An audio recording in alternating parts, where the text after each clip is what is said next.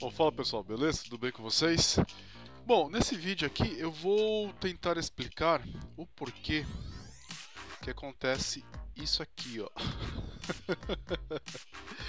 Esse aqui, aliás, essa cara feia que vos fala, né? Faz tempo que não aparece nos vídeos. Uh, esse carinha aqui é do nosso amigo Pietro, né? Ele tava com problema desse motor. E nesse vídeo, né, fiz a correção desse motor aí. Uh, então eu vou tentar explicar um pouquinho o que, que, o que acontece aqui, tá? Então vamos lá. Bom, para quem é... para quem viu o meu vídeo anterior, né? Ali, aliás, acabei de soltar um outro vídeo explicando sobre o funcionamento do, dos motores, né? Então, uh, para quem não sabe ou quem não entendeu ainda, Uh, os, o, aqui essas bobinas elas são é, elas funcionam como eletroímãs, tá? Então, ou seja, toda vez que você se você tiver e pegar um fio e enrolar em volta de um metal, um fio isolado, né? Um fio tem que ser, não pode ser fio exposto, mas né? dá curto, mas fio isolado.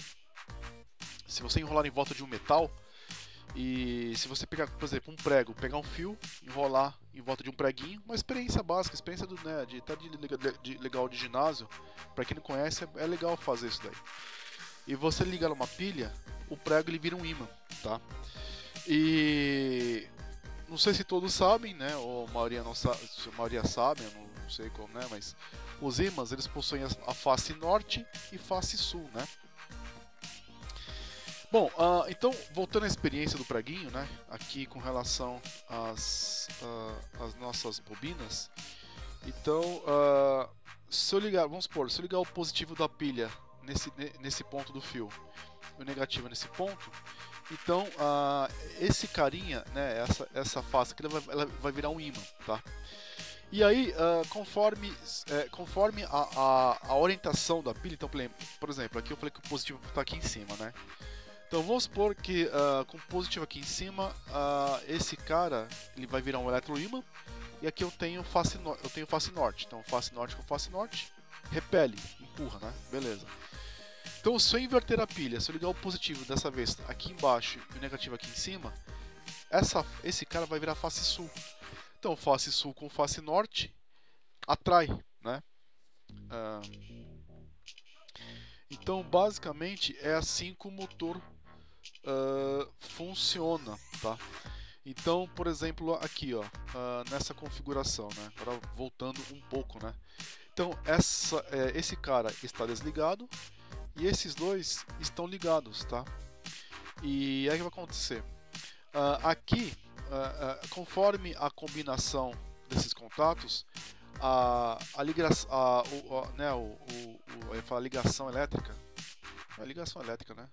Conexão elétrica, melhor, a conexão elétrica inverte uh, os polos do mecanicamente conforme esse cara rotaciona, tá? Então, por exemplo, aqui, ó. Então aqui, uh, vamos supor que aqui, aqui nesse ponto eu tenho positivo e aqui eu tenho negativo, tá? Então, uh, esse cara aqui, ele vai ter face norte, que ele vai querer atrair, e aqui esse cara está com face sul, repelindo. Lembra? Aqui positivo, aqui negativo, certo? Então olha só. Então tá rodando aqui, beleza? Chegou nesse ponto, né? Eu vou estar energizando esse cara também com positivo, tá? Vamos fazer o seguinte, vamos uh, faces. Beleza. Fica mais fácil de entender, né? Então aqui positivo, então então, uh, esse cara vai virar face norte. Então, aqui, ó.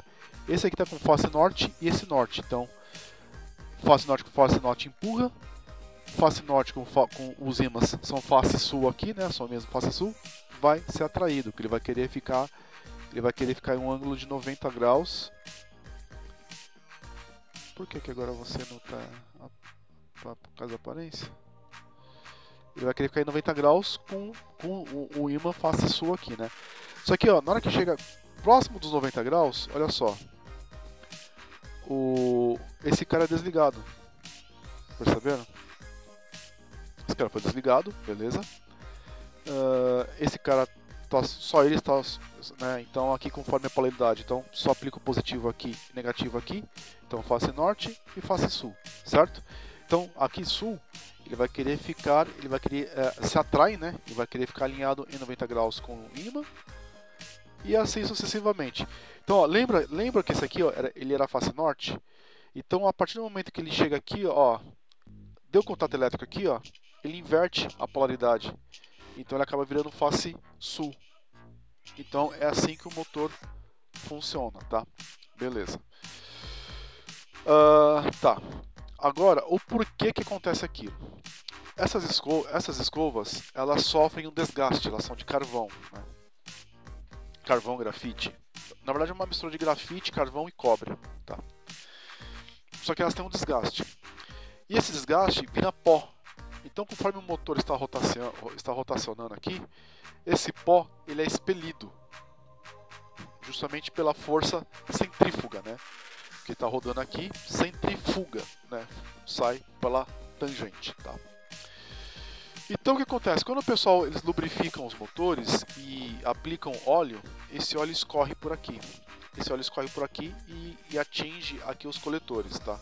Eu ia desenhar um motor do, no caso de ferro modelismo, mas o, o, problema é que nas escovas fica muito difícil de ver. Nesse esse motor aqui, como o motor da Atma, fica mais fácil, mais, é, fica mais evidente de entender o funcionamento, tá? Então, como vocês podem perceber, é, é, esses contatos elétricos eles são isolados, né? Aqui tudo bem, aqui é uma peça só, mas uh, existe essa fenda, essa divisória entre os contatos elétricos, tá? Então quando cai óleo aqui, esse óleo ele acaba se misturando com o pó dos coletores aqui, tá? E aí com a rotação, o aqui está lubricado de óleo, mistura com mistura com o, óleo. O que acontece? O óleo a, a, aqui também tem acontece outros efeitos. Todo atrito aquece, gera calor, tá? Então isso aqui está rodando, está encostando no atrito, isso gera calor. É, mecanicamente, se, você, pegar um, é, se, se esse motor estiver desligado e eu pegar alguma coisa acoplar no eixo desse motor e começar a girar, e esses contatos irão esquentar, justamente por causa do atrito com as escovas. Primeiro ponto. Segundo ponto, uh, devido também à eletricidade, né, também provoca aquecimento, que é o segundo ponto. E o terceiro ponto, também são bobinas, mas também bobinas são resistências. E as, as resistências também provêm, geram calor. Então nós temos três situações que provocam aquecimento em cima desse cara. Então o óleo é, ele está fino, com aquecimento ele fica grosso, acaba engrossando. E aí ele engrossa por causa do aquecimento, às vezes evapora, que as fumaças, né? E também se mistura ao pó dos grafites. E aí misturando ao pó do grafite, acaba ficando mais grosso ainda. E aí quando passa por aqui, os, o, o, as escovas, elas acabam é, empurrando aqui para dentro dessas fendas, dessas fendas aqui, tá? E como vocês podem ver, nós temos, nós temos ah, a, chapa, a chapa, ela faz contato aqui, ó. E o que acontece? Uh, o, o, o, grafite, ele é condutivo. Ah, mistura, mistura com óleo, vira uma massa, vira uma massa condutiva. E aí o que acontece? Como vira uma, uma massa condutiva, você acaba, você acaba fechando uh, uh, contato entre essa chapa e essa chapa, tá? E o que acontece? Uh, essas bobinas aqui, falando das bobinas né, do, do, motor, do induzido, elas têm aproximadamente 12, de 10 a 12 ohms de resistência. Então, resistência alta, corrente baixa. Né? Resistência baixa, corrente alta. Então, ou seja, quando eu quero fechar um curto, eu vou pegar um fio, eu quero fechar um curto, esse fio ele precisa ter uma resistência zero. Se ele tiver resistência, vai, não, não, não vai ocorrer o curto, o curto né, e pode ser que o fio até aqueça e fique incandescente.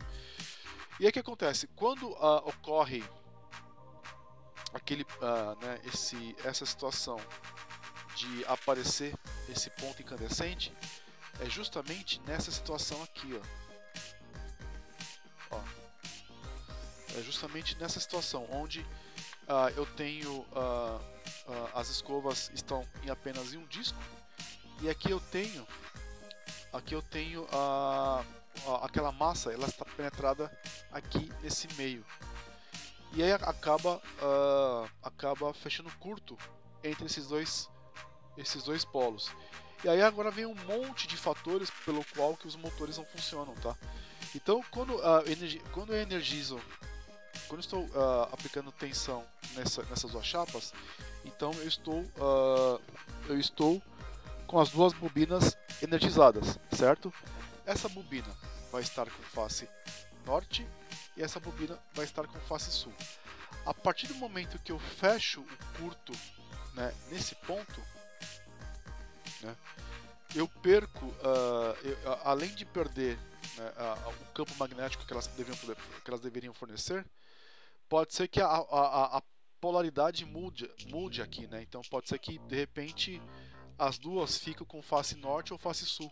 Então isso atrapalha o movimento. Por isso, esse é um dos motores, esse é um dos motivos pelo qual os motores uh, não rodam direito quando, uh, né, quando ocorre esse tipo de, de, situação. E também aqui na parte de cima também, né? Então se tiver também massa nessas fendas, então quando eu energizar, olha só, nesse caso aqui, ó, esse cara precisa estar desligado, porque se ele estiver, se ele estiver energizado, vamos supor, se eu tiver com face sul a, a polaridade dando face sul, esse cara vai chegar aqui, ó, vai travar. Vai querer, ele vai querer ficar, ficar somente alinhado uh, aos ímãs. Ele não vai querer, não vai sair dali. Então, se tiver aqui também, uh, por exemplo, aqui, ó, se eu tiver aqui nesse ponto aqui, aqui estou com face sul. Se eu tiver massa nesse ponto, eu também vou estar energizando, energizando essa, essa chapa. Energizando essa chapa, esse cara vai estar com face sul. Ficando com face sul, vai chegar aqui e vai ficar travado. Né? Uh, então, para vocês verem como isso acaba uh, uh, gerando um, um, monte de transtornos no funcionamento eletromecânico né, aqui do sistema do motor. Tá? então, a lubrificação é um pinguinho de óleo pouca, meu, assim, quase nada. Né? Preferivelmente não. A não ser que tem. Às vezes existem casos extremos que você precisa por óleo, porque mas de, de, de praxe, não coloquem óleo aqui nesse ponto. Aqui, onde fica o, o, o, a outra face, né, ponta do motor, aqui não tem problema. Mas aqui, meus amigos, botar óleo aqui e escorrer é a Joe's Muchachos, tá? Então, uh, essa foi a explicação, tá? Eu não sei se eu consegui explicar direito, mas é, é esse efeito que acontece quando se lambreca de, é, de óleo os, os coletores dos motores. Certo? Bom pessoal, é isso aí. Espero que vocês tenham gostado.